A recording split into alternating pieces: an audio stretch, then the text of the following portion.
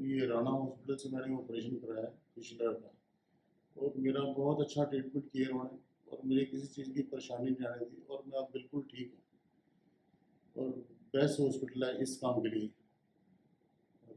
Doctor साहब भी बहुत अच्छे हैं, और इनका स्टाफ वेरी गुड स्टाफ बहुत अच्छा स्टाफ है।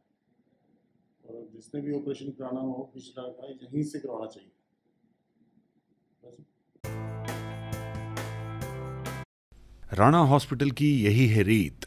फिशचुला पर होगी सदा ही जीत।